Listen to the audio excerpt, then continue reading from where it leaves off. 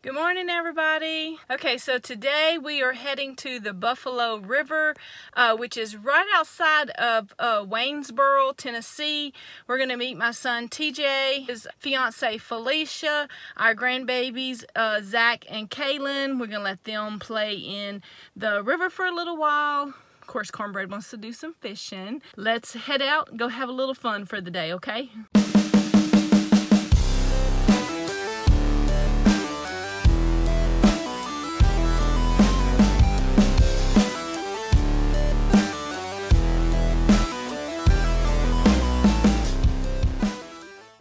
Morning, everybody. Okay, so today we are at the Buffalo River um, in Tennessee. Look at this bad boy that I got, and I'm so anxious to try it out. It is a Blackstone grill, and I'm fixing to show y'all how to season it, okay? So we have it on high. We're letting the griddle uh, get really hot. Uh, you do not want to season it the first time by cooking bacon on it or your hamburgers. You're going to do this more like a uh, cast iron skillet that you have to put oil on and then you bake it in your oven for several uh, hours. Because if you just put bacon fat and you cook bacon on it, it doesn't seal it.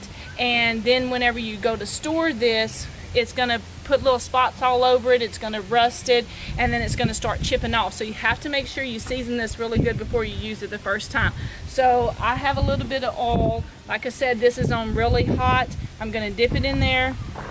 I'm going to pour just a little and then you're going to just see how it turned colors. That's what you want. You want this whole grill. Now you don't want a whole lot of oil, but you want to make sure you coat every inch of this. And pour just a little more. And you don't want the oil uh, pulling on it. You're coating it, okay? So let's make sure we get every piece of this grill. Just like those old cast iron skillets, you want it seasoned very well. Okay, and you do this till all the oil is soaked up. I'm gonna let the grill get hot again, and then we're gonna do it again. I'm gonna wait maybe about a minute and then we'll do it one more time, okay? So now we're gonna do our second coat. Like I said, you're just gonna pour a little more oil on it. We're gonna rub it all over it again. And you can tell that it's changing colors. See the difference in the color?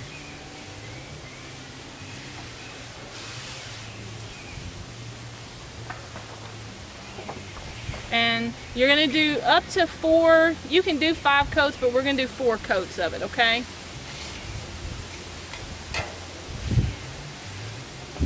Alright so now we're going to do the third coat. Like I said you're not using a whole lot of oil because you don't want it just pooling everywhere and just rub it in.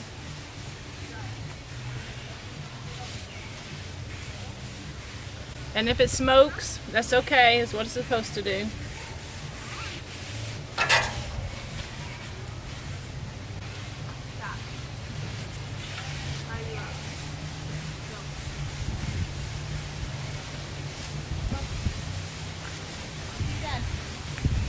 Alright, so for the fourth time, we're going to season it one more time, but I want to explain something. If you see right here in the middle, you can tell where the heat is concentrated under it and you can tell that this is seasoning really well and the outer edges aren't seasoning quite as well as the middle section. I think it's because the wind is blowing pretty bad today so it goes up under here and it's kind of causing the fire not to be evenly distributed. So what I'm going to do is because I got a grill today and we're grilling some hamburgers on it, uh, once we get back home and I can uh, kind of have an enclosed area where the wind's not blowing, I'm going to clean it real good and I'm going to finish seasoning it so that because I want all of this outer edges here to be just as sealed as this uh, middle section is. Sometimes you need to make your life a little bit easier so go ahead and buy those patties that are already made when you're you know out barbecuing um, and I'm anxious to use this so let's get these bad boys on this grill. Whew.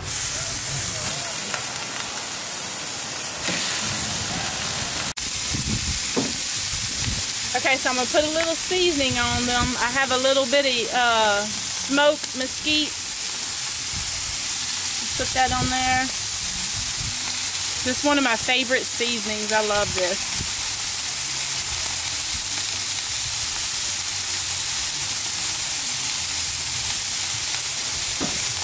And then of course I have just a little bit of uh, salt and pepper, which doesn't take very much, okay? Because you already have that mesquite smoke flavoring, and I want just a little salt and pepper on them. Now, the key to a good burger is that don't flip it until the other side is cooked. Then once the other side is cooked, then you can flip it because it's going to stick to the grill and then it just makes a mess. So I'm going to close this up.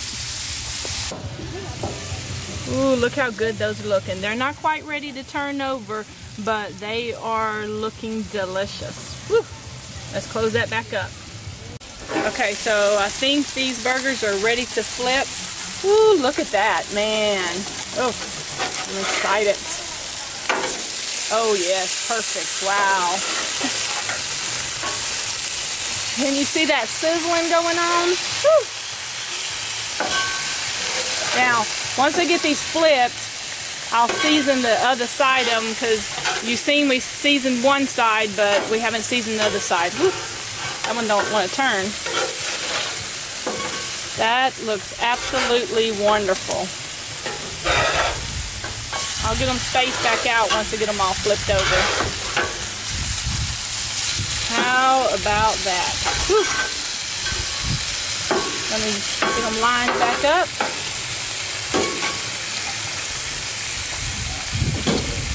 Okay, let's put a little bit of that mesquite seasoning on this side.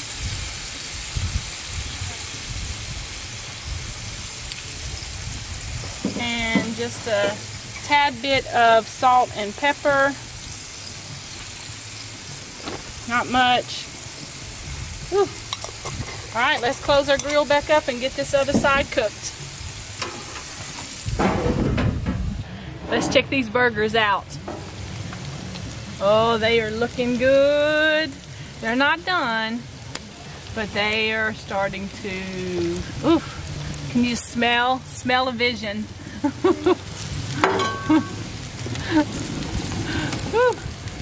Looking nice. Make sure we're not burning any of them. All right, I think they're done. Let's get these plated and let's eat. Whew. Get them off that grill. Oh man. I cannot wait to try some of these. Oh. Look at that. Whew. Man. Come on. Yeah. There you go. Right? One. Hmm. So what do you think? Delicious. It's good? Oh yeah, Perfect. it's perfect. Well done. Delicious. think, KK? Delicious. This is really good. I didn't even take take a bite. I He's already, ate half of it. Okay. Same. Okay, so um, when you're done cooking, obviously, obviously you have to uh, clean your grill. So that's what this little scraper's for, and you're just gonna scrape it, and you're gonna put it into your little grease trap back here until it's clean. Let it cool off before you uh, can pack it. Okay.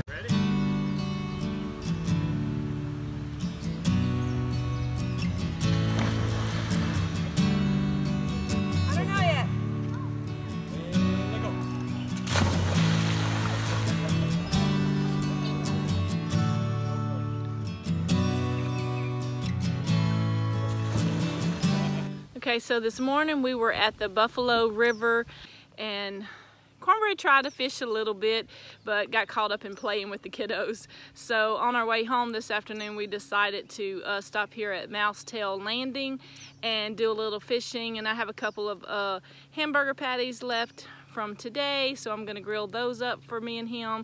And we're gonna see if we can catch some fish.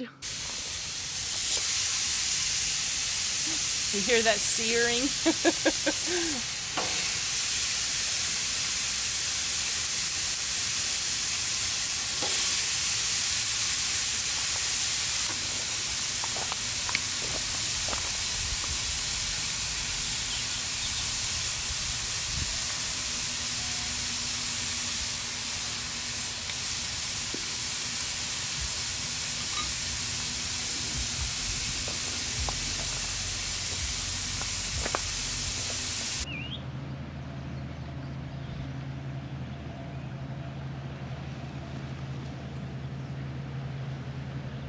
I don't know if you can tell, but I'm sitting in a swing, swinging right now.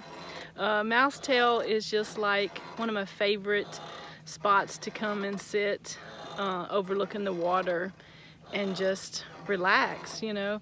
Whether you come out here for 30 minutes or you come out here for, you know, a couple of hours to enjoy, you know, the river. It's just absolutely beautiful. You know, it's my happy place.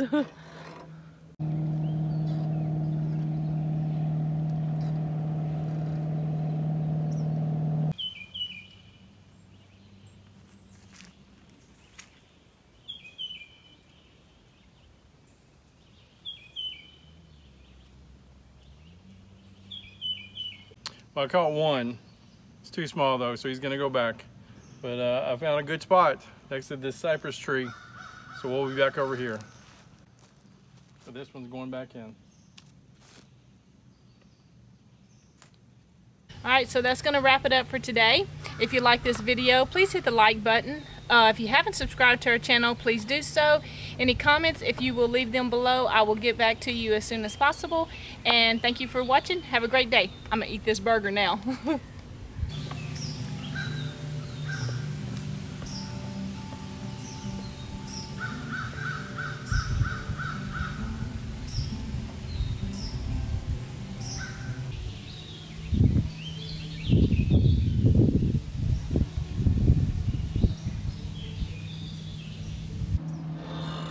This is my view from the swing I'm sitting in.